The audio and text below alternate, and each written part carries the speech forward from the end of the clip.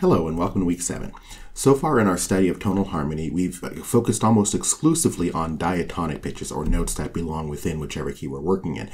We've used diatonic pitches to create triads and seventh chords, uh, and then to organize those chords in ways that seem logical or what we've called functional, right? Um, we've also used primarily diatonic pitches to explore non-chord tones and how they can help enhance or embellish those harmonic motions.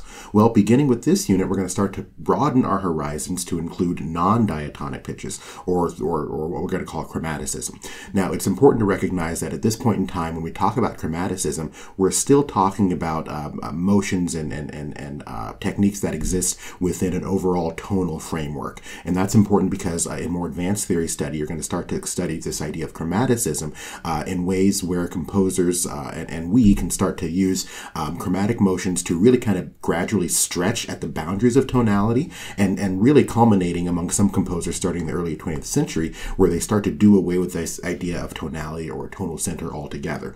And that's where you get things like 12 tone music, pitch class set theory, um, and, and other techniques where chromaticism really has been expanded to, uh, to, to again, just kind of de emphasize this idea of tonality or tonal center.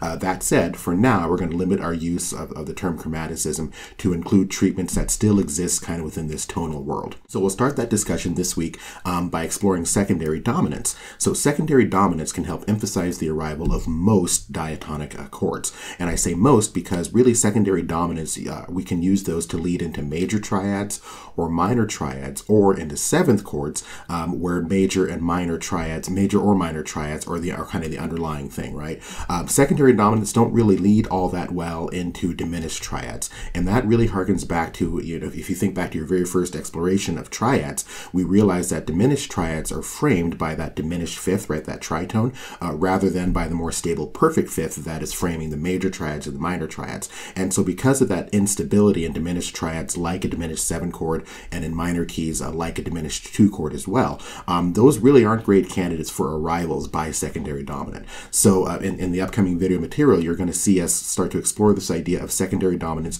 as they lead to, again, those major triads, those minor triads, or the seventh chords with an underlying triad of major or minor. Enjoy.